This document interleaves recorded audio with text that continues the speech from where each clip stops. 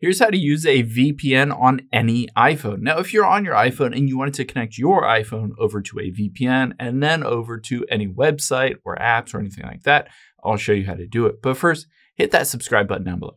Really helps me out. Thanks, guys. Now, there are two different ways you can connect to a VPN. One is a built-in default VPN. So let's tap on settings here and tap on your name at the very top. And from here, we will tap on iCloud. Now, it's kind of hidden in here, but there is a built-in VPN, and it's basically called Private Relay. So tap on Private Relay here, and it says iCloud Private Relay keeps your internet activity private, essentially taking your iPhone, and it usually uses Cloudflare's servers and connects from your iPhone to a VPN Cloudflare over to any other website. So you can toggle this on, and you can choose IP address location. Now, keep in mind, unlike other VPNs, you cannot control basically connecting through a different country. So I'm in the United States.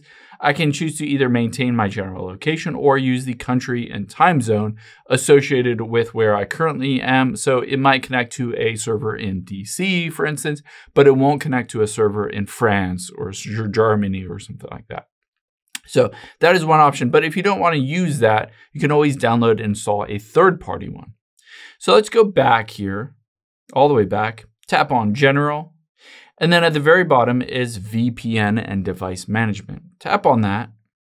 And at the very top, you can tap on VPN. You can see I don't have a configuration currently. I can tap on it and if you have advanced technical knowledge of setting up a VPN, you can enter in all of these things like their server, remote ID, the username, passcode, all that stuff. But if you wanted to, you can just have an app autofill all this. So to do that, we'll head into your app store here and we'll just type in VPN and hit search. Now you can choose any one that you want. Let's just choose this top option here, download and install it and it makes it really easy to connect. So let's tap on the app. And on here, I can hit accept. And now it says, do you want to send notifications? I'm gonna hit no. And there's a free option on here, just it includes ads, or you can pay for an option, of course. I'm just gonna hit proceed with ads and continue.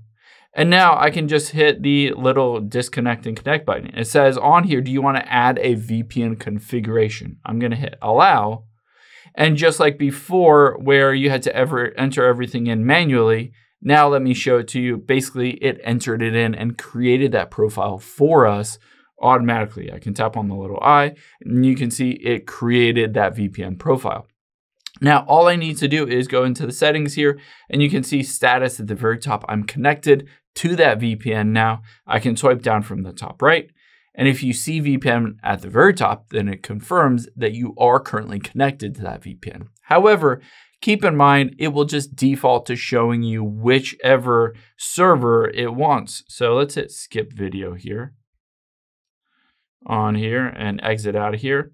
Now, if I go back here, I might want to, oh, I chose the ad version, so it's going to show me a bunch of ads through this process, but let's hit skip and X. On here, you can see at the very top, it connected me to a VPN in the United States in Virginia. But I can tap on that and I can choose a different country. So I can choose, for instance, France here and connect to, again, a VPN in France.